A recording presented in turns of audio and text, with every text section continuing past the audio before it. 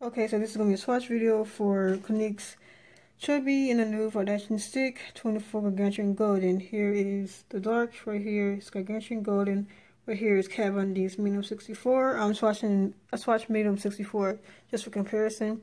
Here is Gargantuan Golden right here, and around here is Medium 64 blended. Both these are blended. Okay, in warm light, here is Clinique's Gargantuan Golden. Here is D's Medium 64. Here is Clinique's, where is it? Right, Clinique's Gargantuan Golden, and around here is D's Medium 64.